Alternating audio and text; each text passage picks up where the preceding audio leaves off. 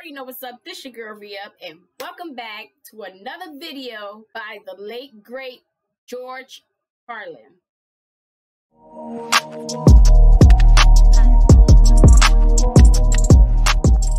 If you're new here, and if you're not new here, kick back, relax, and let's enjoy this hilarious clip. Let's go.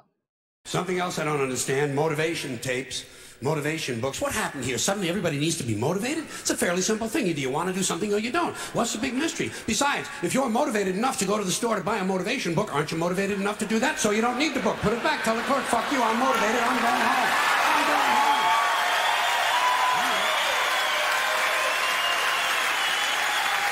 Got a point.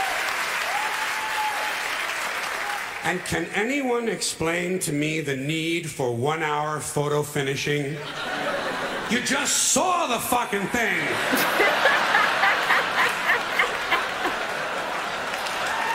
How, how can you possibly be nostalgic about a concept like a little while ago? Another complaint too many vehicles. There are some families in this country own entirely too many vehicles. You see them on the highway in an RV. But that's not enough for them. RV's not enough. Behind them, they're towing a motorboat, go-kart, dune buggy, dirt bike, jet ski, snowmobile, parasail, hang glider, windsurfing equipment, a hot air balloon, and a small two-man deep-sea diving bell. Doesn't anyone just take a fucking walk anymore? the only thing these people lack is a lunar excursion module. Too many choices, America. It's not healthy. Another abomination. White guys over 10 years of age who wear their baseball hats backwards. Listen to. Oh my goodness. White guys, let me tell you something. You're never going to be as cool as black guys. It's not going to happen. You're white and you're lame.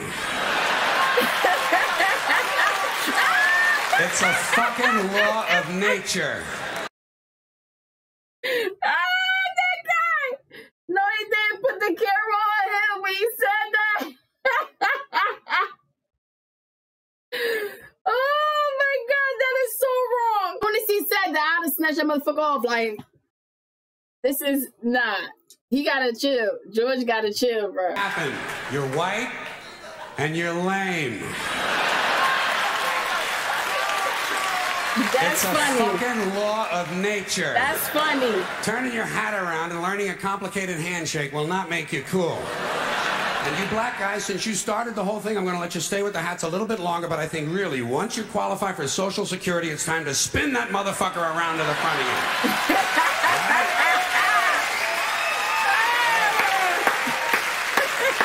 Another tip, another tip for the men. The earring, the thing with the earrings, it's over. It's been over for a long time. Doesn't mean anything anymore. It was supposed to piss off the squares. The squares are wearing them now. Doesn't mean anything. It's just fucking jewelry. Unless you have an earring with a live baby hanging from it. It's just jewelry. And I want you to know I'm in favor of self mutilation and personal disfigurement.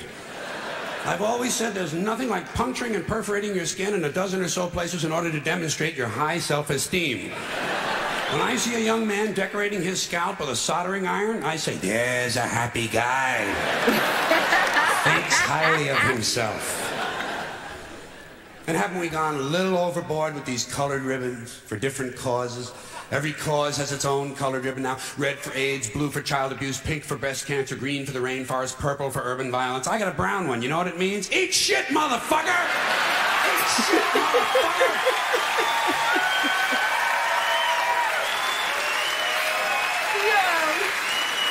He has no filter. And what can we do to silence these Christian athletes who thank Jesus whenever they win, never mention his name when they lose? Not a word. You never hear them say, Jesus made me drop the ball. the good Lord tripped me up behind the line of scrimmage.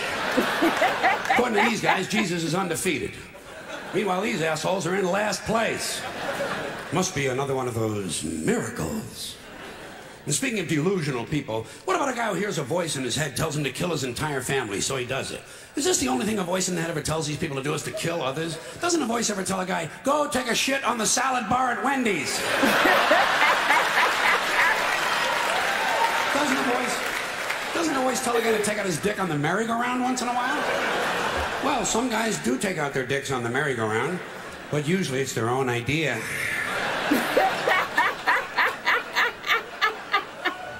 Something else I can do without aftershave and cologne. Oh and this God. disgusting shit that men put on their bodies. Just what I need in the elevator. Some guy standing next to me smells like a fucking pine tree. I said, go home and wash, you smelly prick. You smell like the urinal in a Portuguese cat house. Oh my God damn, guys are stupid. Guys are really fucking dumb. They think they're gonna get laid with this stuff, you know. Oh yeah, they put it on at home. Oh boy, oh boy, I'll get laid tonight. I'll get laid tonight. You don't get laid with green shit that comes out of a bottle, okay? And the only smell that's gonna help you get laid might be your own natural scent. You have pheromones. It's a secondary sex characteristic. People in America, oh, nervous about sex. They want to cover that up and disguise it. Guys in Europe, they know how to live. Guy gets in the elevator over there, he smells like a pile of dog shit. Those people are sophisticated.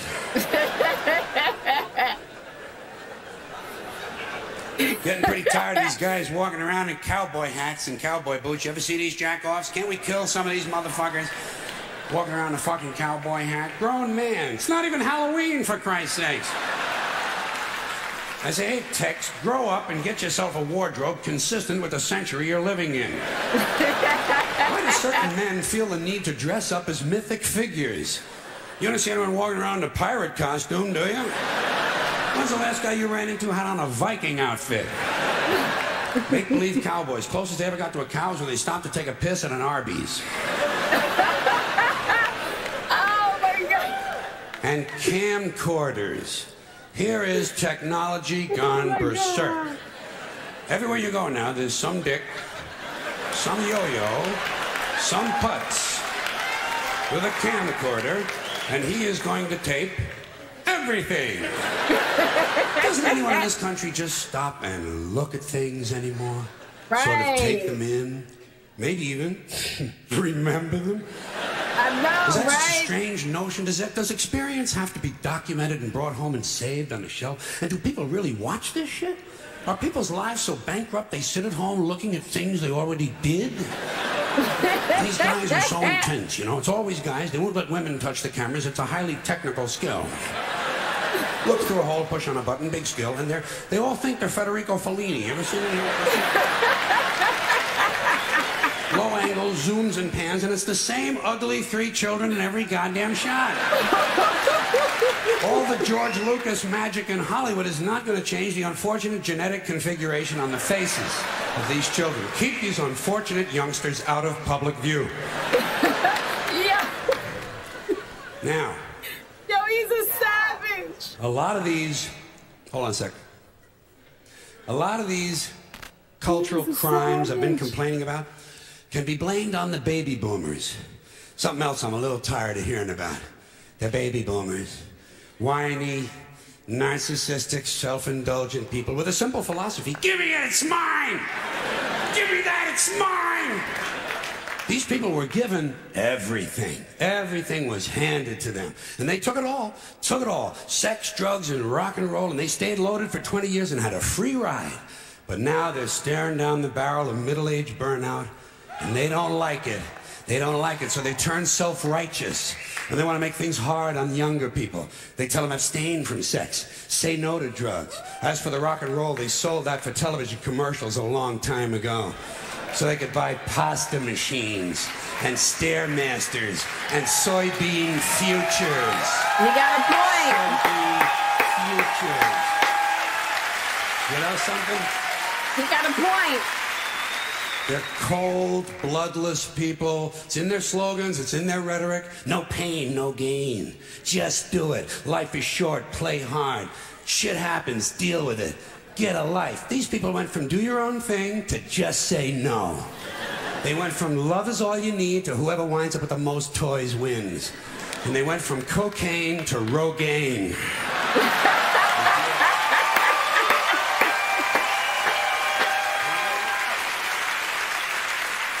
Oh my And you know god. Something? They're still counting grams, only now it's fat grams. And the worst of it is the rest of us have to watch these commercials on TV for Levi's loose-fitting jeans and fat-ass Docker pants. Because these degenerate yuppie boomer cocksuckers couldn't keep their hands off the croissants and the Haagen-Dazs. And their big fat asses have spread all over and they have to wear fat-ass Docker pants. Fuck these boomers, fuck these yuppies, and fuck everybody now that I think of it.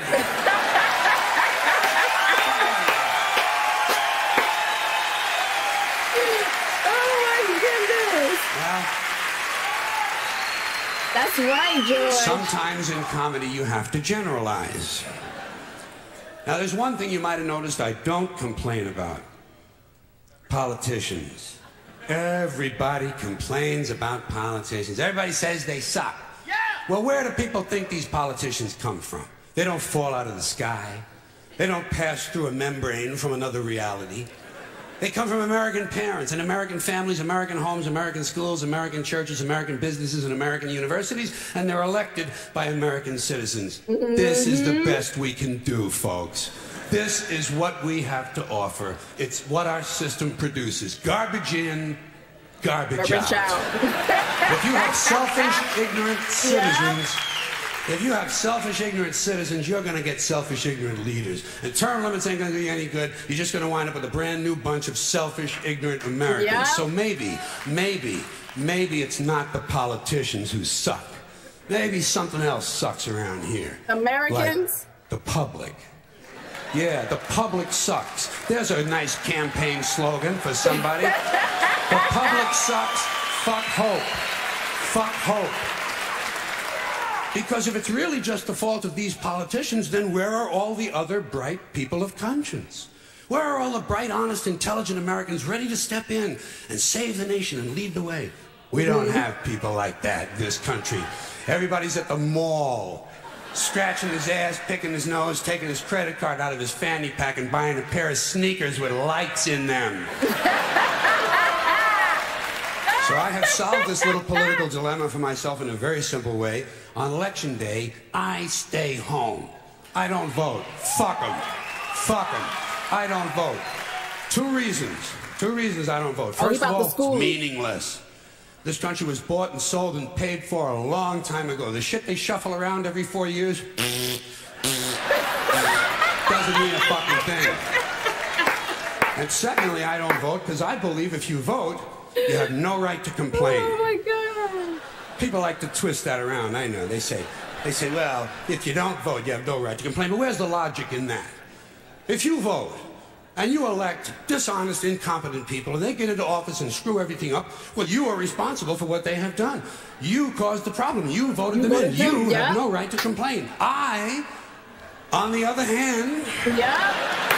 who did not vote, who did not vote, who, in fact, did not even leave the house on election day, am in no way responsible for what these people have done and have every right to complain as loud as I want about the mess you created that I had nothing to do with. So I know that a little later on this year, you're going to have another one of those really swell presidential elections that you like so much. You'll enjoy yourselves. It'll be a lot of fun. I'm sure as soon as the election is over, your country will improve immediately. As for me, I'll be home on that day doing essentially the same thing as you.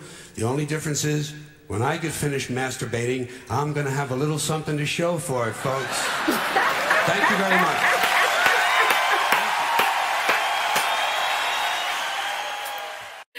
Oh man, I is that man has no filter, but he's not wrong. Oh my goodness, I oh, I just wish he was alive today. Oh man. Oh, this is this sucks. It sucks. Oh. He's brilliant. I miss George Carlin. As always, thank you for watching me react to these funny, hilarious ass stand up comedy videos. And hit that subscribe button for me so you can see more videos just like this one. Toodles.